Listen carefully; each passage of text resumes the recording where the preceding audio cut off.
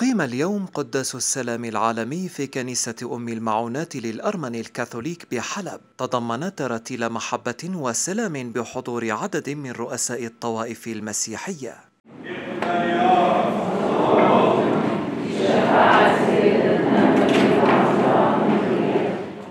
هذه الأمسية هي أمسية صلاة من أجل السلام في العالم تحت شعار السلام كمسيرة رجاء. ونحن نشارك العالم بهذا اليوم المبارك فنرفع الصلاة من هذه الكنيسة التي هدمت بسبب القذائف التي أطلقت علينا من قبل الإرهابيين ولكن بحمد الله ونعمته أعدنا بناءها.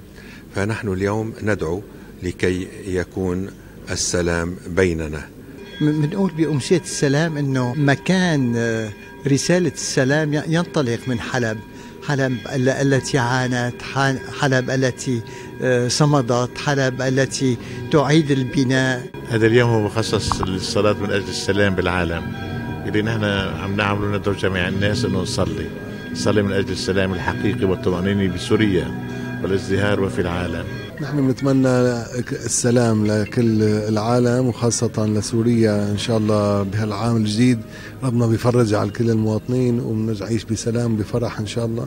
يكون في عام بركة للجميع. نتمنى للعالم السلام والمحبة وانتهاء الأزمة بسوريا. بنهني شعبنا بنهني قائدنا بنهني جيشنا. ونترحم على أنفس شهدائنا اللي ضحوا كثير من شأن تحرير البلد. فإن شاء الله سنة 2020 تكون سنة خير وبركات وفرح وسعادة.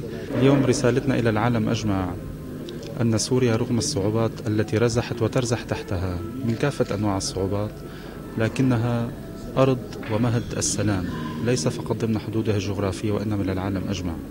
لذلك أتينا اليوم لنرفع الصلاة لأجل سوريا ولأجل كل العالم. Hosanna.